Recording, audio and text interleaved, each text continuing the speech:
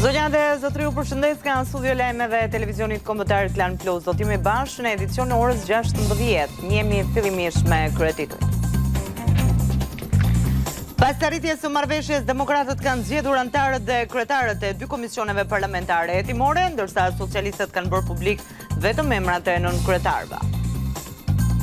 Pak ditë pas atentatit ndaj Gentian Bejtjas në Fushë Krujë, policia ka arrestuar dy persona, Ilir Beqaraj akuzohet si një prej autorëve të krimit, ndërsa Edison Axhiu për krijimin e kushteve të vrasjes. Ata u larguan pas ngjarjes me një Golf të zi.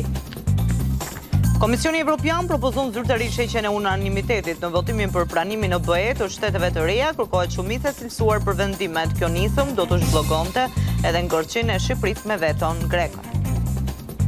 Manastiri i Deçanit regjistron në pronësi 24 hektar tokë pas vendimit të qeverisë Kurti. Kosovës pritet t'i jepet drita jeshile për anëtarësimin në Këshillin e Evropës në mbledhjen e prillit.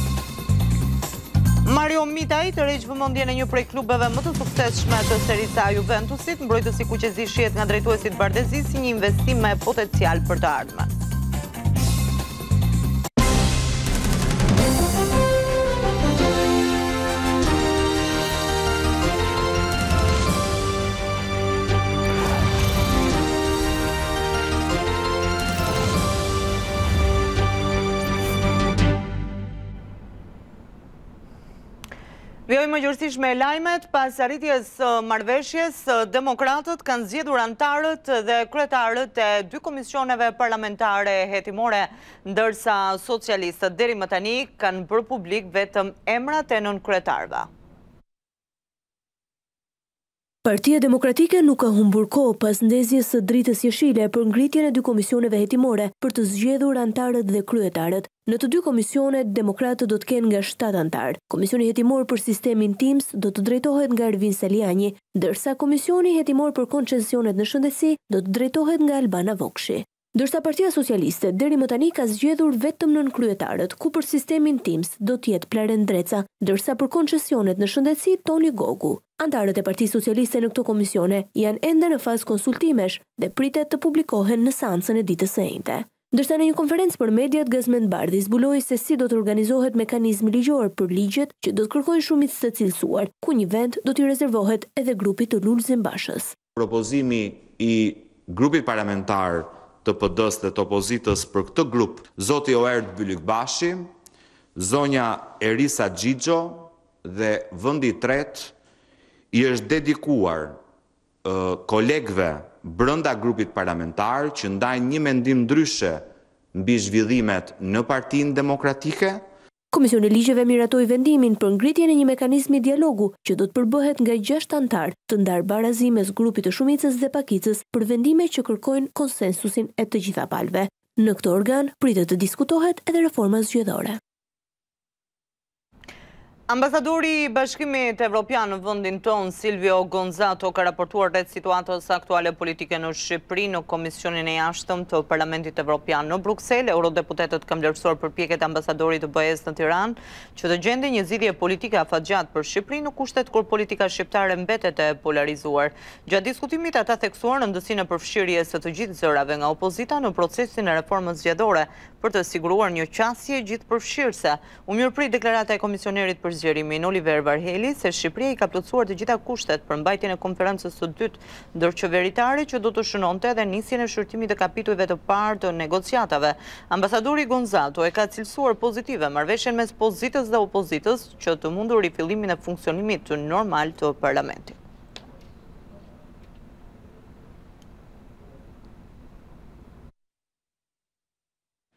Zoi zyrtarisht heqjen e unanimitetit në votimin për pranimin në Bashkimin Evropian të shteteve të reja, duke e zëvendësuar atë me votimin me shumicë të cilësuar. Kjo vendimmarrje do të zhbllokonte edhe situatën aktuale me Shqipërinë, e cila mbetet e bllokuar nga Greqia.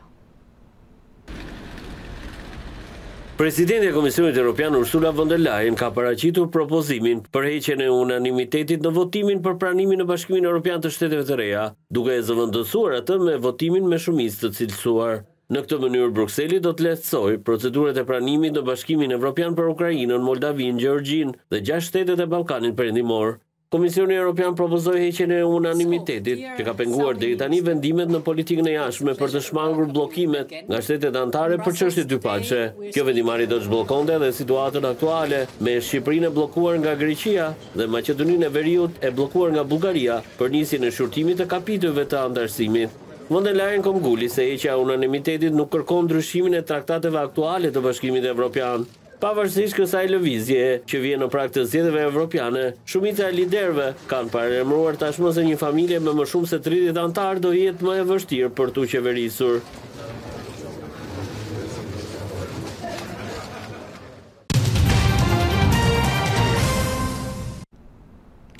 Pesë ditë pas atentatit ndaj Gentian Betjas në Larush të Fushkrujës, policia ka arrestuar dy persona, Ilir Beqara akuzohet si një prej autorëve të krimit, ndërsa Edison Haxhiu për krijimin e kushteve të vrasjes, zbardhet edhe itinerari i autorëve pas ekzekutimit.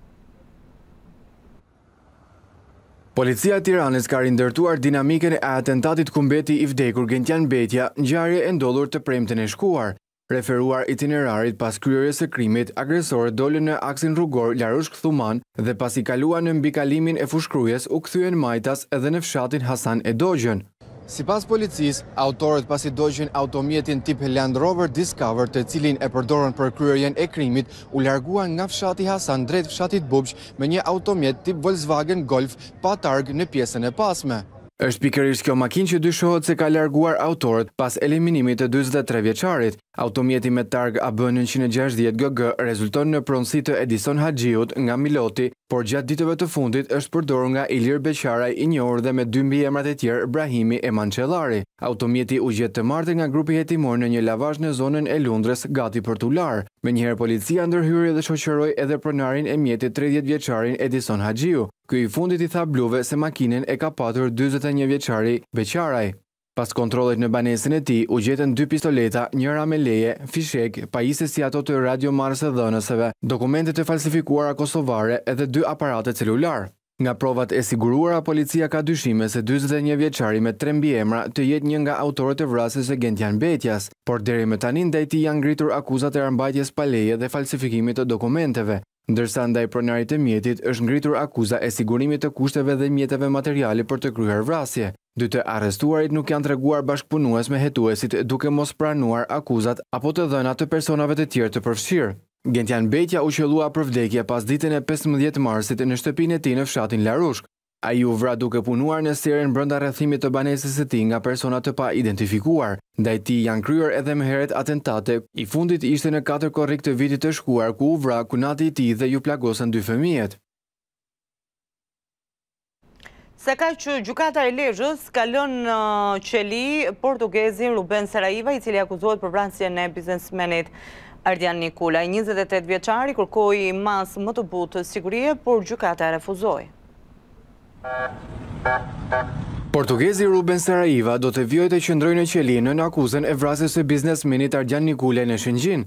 Njëzet e tetë vjeçari kërkoi masë më të lehtë sigurie, por nuk u pranua nga gjyqtari Ilir Përdeda. Avokati i portugezit, Kujtim Cakrani tha në gjykatë se nuk ka prova që e implikojnë klientin e tij në vrasjen e biznesmenit Nikulaj. Pas vendimit të togave të zeza, për mediat Cakrani tha se ekziston vetëm dëshmia e një gruaje që është marrë në mënyrë të paligjshme nga oficerët e policisë gjyqësore pasi ndodhej në gjendje të rënduar psikologjike. Deri më tash nuk ka asnjë provë konkrete, përveçse fjalë të prokurorisë dhe dyshime të cilat janë të pabazuara në të harmonizuara me ndonjë provë konkrete, përveçse fjalë të cilat janë marrë lart poshtë nga oficerët e policisë së komisariatit të Lezhës. Avokati Cakrani paralajmëroi se vendimi ndaj Ruben Saraivës do të dërgohet në Gjykatën e Apelit. Saraiva erdhi në Shqipëri në katërmbëdhjetë shkurt të vitit të shkuar. Sipas policisë dhe prokurorisë, ai mbërriti në vendin tonë për të finalizuar planin e thurur dhe financuar nga Edmond Haxhia, tashmë i arrestuar në Britani për vrasjen e biznesmenit Ardian Nikulaj. Gjithashtu i arrestuar është edhe një nga bashkëpunëtorët kryesorë të ngjarjes, Harry Simpson, i cili u largua nga Rinasi me destinacion Anglinë.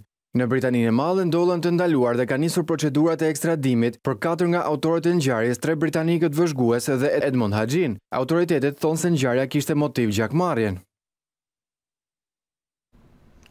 Rreth një muaj pas atentatit që iu bë Selam Ibrahimit në Shkodër, autori i dyshuar është ekstraduar nga Gjermania, bëhet fjalë për 68 vjeçarin Sulejman Kaplani, i cili pas ngjarjes u largua menjëherë jashtë vendit. Policia shqiptare ekstradoi nga Gjermania 68 vjeçarin Sulejman Kaplani, i cili tentoi të vriste krushkun e tij Selam Ibrahimi, ngjarje e ndodhur në 8 shkurt në qytetin e Shkodrës. Ai u largua për në Malin e Zi pas ngjarjes, por u arrestua më pas në Berlin me qëllim ekstradimin. Gjashtëdhjetë e tetë vjeçari Kaplani, i cili është xhaxhai i gruas së të plagosurit, e qëlloi Brahimin me breshëri plumbash teksa ky i fundit po futej në makinën e tij. Nga ngjarja, gjashtëdhjetë vjeçari mbeti i lënduar në fytyrë, ndërsa të shtënat krijuan jo pak panik tek qytetarët e shumtë që ndodheshin në atë moment në zonë. Ndaj Kaplanit Gjykata e Shkodrës caktoi masën e sigurisë arrest në burg për veprat penale vrasje me dashje e mbetur në tentativë dhe prodhim dhe mbajtje pa leje të armëve armëve shpërthyese dhe municionit. Ndërkohë Policia e Shtetit njofton se nga Shqipëria në Itali është ekstraduar edhe një njëzet e nëntë vjeçar pasi Gjykata e Torinos në Itali me vendim të datës nëntë shkurt të vitit të shkuar i ka caktuar masën e sigurisë arrest në burg për trafikim të lëndëve narkotike dhe grup kriminal. Njëzet e nëntë vjeçari Glorildo Halili është arrestuar në Durrës më shtatë nëntor të vitit të kaluar me qëllim ekstradimin drejt Italisë. Gjykata e Apelit në Tiranë vendosi këtë të mërkurë të lejojë ekstradimin e shtetasit Igor Kokunov drejt Rusisë. Kokunov u arrestua në Shkodër disa muaj më parë në zbatim të një urdhër ndalimi me dyshimet se është i përfshirë në krimin e organizuar në Rusi. Ai kishte kërkuar refuzimin e ekstradimit me argumentet se në vendin e tij rrezikohet jeta.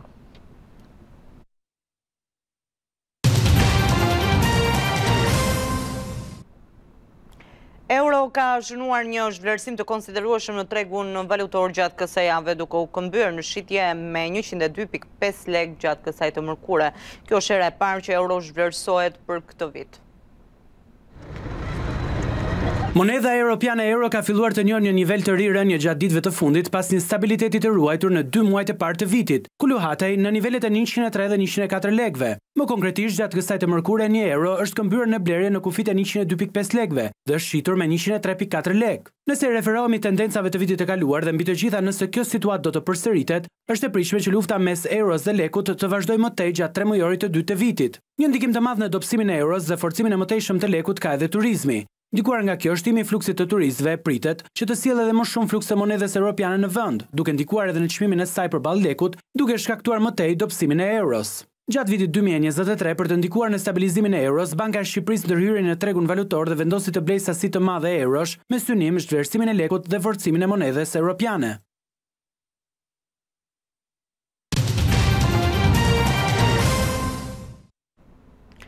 Sëmundja e Parkinsonit, e cila prek personat mbi 60 vjeç, ul cilësinë e jetesës, sipas mjekes neurologe Entela Basha, zakonisht pacientët vijnë me vonesë tek mjeku. Sëmundjet neurologjike janë më të përhapurat në popullsi, mes tyre edhe Parkinsoni, e cila është një sëmundje kronike progresive degjenerative e trurit. Sipas mjekes neurologe Entela Basha, në vendin tonë ka një rritje të numrit të të sëmurëve me Parkinson, edhe për shkak të plakjes së popullsisë. Dhe plakja e popullatës bën që të shtohet numri i patologjive degjenerative. Dhe duke qenë se dhe Parkinsoni është patologji degjenerative, patjetër që dhe numri rritet. Ajo që vihet re tjetër është që kemi dhe një rritje të diagnostikimit. Por cilat janë ato simptoma që një person të fillojë të dyshojë se vuan nga Parkinsoni? Pacientët vijnë tek mjeku në fakt kur fillojnë ato që quhen shenja motore, që janë ngadalësia në lëvizje, ngadalësia në kryerjen e aktiviteteve të përditshme, dridhja, problemet e ekuilibrit, çrregullime të tjera që hyjnë në sferën autonome siç janë për shembull urinimi i shpeshtë, konstipacioni, çrregullimet e humorit, çrregullimet e gjumit. Thuhet që në qoftë se shfaqen shenjat motore, ka humbur gati shtatëdhjetë për qind e neuroneve e neuroneve që çlirojnë dopaminë. Sipas neurologes, personat që kanë në rrethin familjar të sëmurë me këtë diagnozë kanë risk më të lartë për të patur Parkinson. Si të gjitha sëmundjet edhe Parkinsoni ka komponentin e rëndësishëm gjenetik dhe specifika e pacientëve që kanë janë gjenetikisht bartës të gjeneve përgjegjës për Parkinsonin është se e shfaqin sëmundjen shumë më herët se sa është mosha mesatare e shfaqjes së sëmundjes që është rreth moshës gjashtëdhjetë gjashtëdhjetë e pesë vjeç ndërkohë që tek pacientët që janë bartës të gjenit Për Parkinsonin shfaqet rreth moshës dyzet, dyzet e pesë vjeç. Kjo sëmundje nuk mund të shërohet, por me trajtimin dhe kapjen në kohë mund të ngadalësohet përkeqësimi i saj. Medikamentet bëjnë ngadalësim të të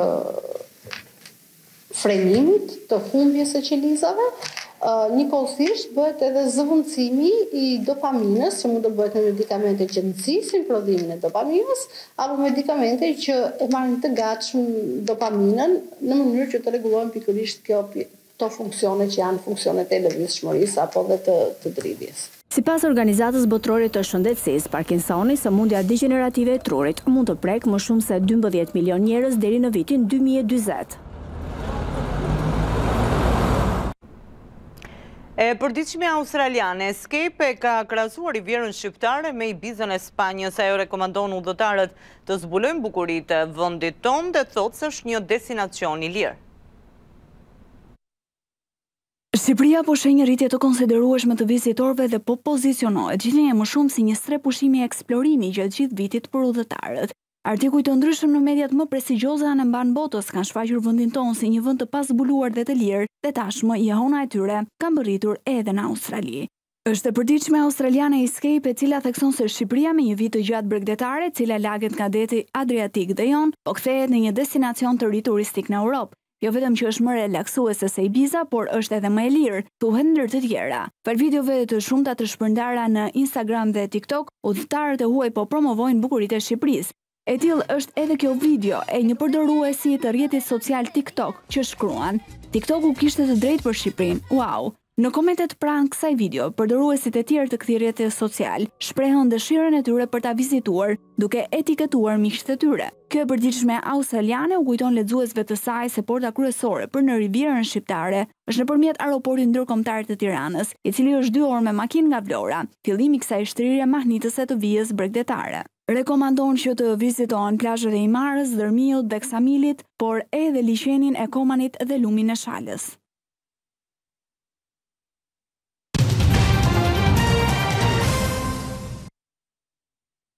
Vendimit të marrë nga qeveria e Kosovës regjistrohen zyrtarisht 24 hektar tokë në pronësi të manastirit të Deçanit. Kjo është konfirmuar nga dioqeza e Rashkës dhe Prizrenit e kishës ortodokse serbe në Kosovë. Gjatë mbledhjes së qeverisë kryeministri Kurti ka thënë se vendimi për t'i dhënë 24 hektar tokë manastirit të Deçanit është i dëmshëm por i domosdoshëm për anëtarësimin e Kosovës në Këshillin e Evropës. Por disa ditë pas, emisari i Shteteve të Bashkuara të Amerikës, Gabriel Escobar, tha se Kosova ka edhe dy kushte për anëtarësim në KiE, formimin e asociacionit dhe shpronësimin e tokave në veri. Autoritetet komunale të Deçanit kishin kundërshtuar vendimin. Raportuesja për Kosovën në Këshillin e Evropës, Dora Bakojanis, ka vlerësuar vendimin e autoriteteve kosovare për regjistrimin e 24 hektarëve tokë në pronësi të Manastirit të Deçanit. Ajo ka shprehur mbështetje për anëtarësimin e Kosovës në Këshillin e Evropës, ndërsa vendimi do të merret në mes të muajit prill. Manastirit të Dukani, koshtesë Raportuesja për Kosovën në Këshillin e Evropës, Dora Bakojanis, ka vlerësuar vendimin e autoriteteve kosovare që Manastiri i Deçanit të regjistrojë zyrtarisht pronësinë mbi këtë sipërfaqe toke, si kusht i vendosur për anëtarësim në këtë organizatë.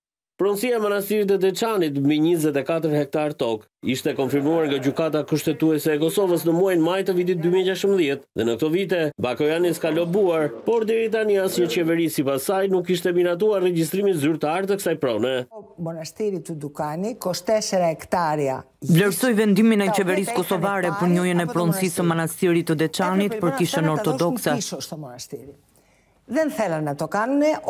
Pavarësisht se unë jam greke, kam negociuar me kosovarët për këtë çështje për një kohë shumë të gjatë, gati dhjetë vite. Ke tokanën e ki ti doshën e ke perimenu akoma për të Të gjitha qeveritë e mëparshme në Kosovë nuk kishin ndër mend që të zbatonin një vendim të gjykatës së tyre kushtetuese që t'i kthenin manastirit serb njëzet e katër hektarë tokë që ia kishin marrë. Tani i takon Asamblesë Parlamentare të Këshillit të Evropës që të marrë një vendim rreth aplikimit të Kosovës për anëtarësim në Këshillin e Evropës. Në grupet politike ka dallime. Por ka edhe çështje për të cilat jemi dakord, siç mund të jetë kjo. Raportuesja Bakojanis do të raportojë për Kosovën më njëzet e dy mars në Paris në mbledhjen e jashtëzakonshme të Komitetit për Çështje Politike, ndërsa në mesin e muajit prill do të jetë Asamblea Parlamentare e Këshillit të Evropës, e cila do të votojë për kërkesën për anëtarësimin e Kosovës. Në fund të muajit maj është shqyrtimi përfundimtar nga Këshilli i Ministrave. i cili do të vendosë për anëtarësimin e Kosovës në këtë organizatë.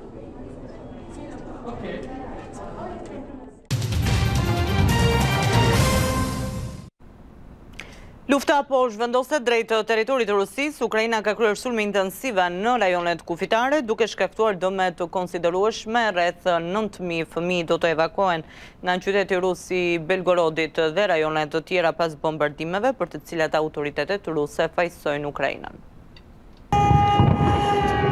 Rusia dhe Ukraina kanë shkëmbyer sulme të njëpasnjëshme në zonat kufitare.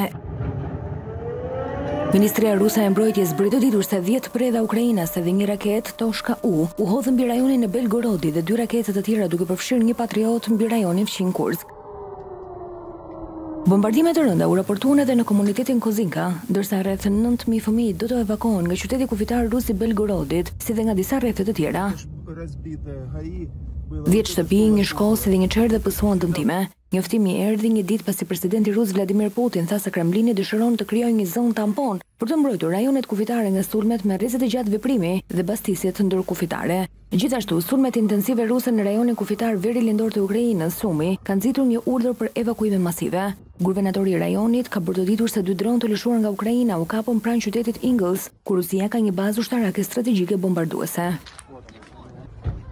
Nga sulmet u vra një person dhe njëmbëdhjetë të tjerë u plagosën, ndërsa gjashtëmbëdhjetë persona janë vrarë dhe nëntëdhjetë e tetë janë plagosur këtë javë nga sulmet e njëpasnjëshme. Presidenti ukrainas Volodymyr Zelensky ka dënuar sulmet e vazhdueshme terroriste dhe ka theksuar se mbrojtja ajrore mbetet shqetësimi kryesor i Ukrainës. Rusia ka lëshuar njëqind e tridhjetë raketa të llojeve të ndryshme, më shumë se treqind e njëzet dronë, si dhe pothuajse nëntëqind bomba ndaj Ukrainës deri më tani këtë muaj.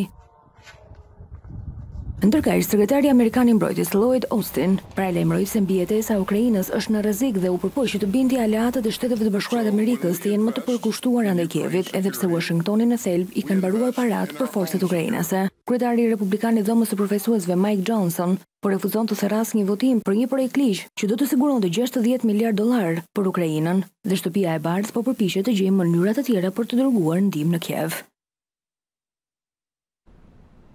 Giorgia Meloni kërkon 100.000 euro dëmshpërblim pas publikimit online të videove pornografike me imazhin e rremë të saj. Nëse e fiton gjyqin, shuma do të shkojë për gratë që kanë rënë pre e dhunës së burrave.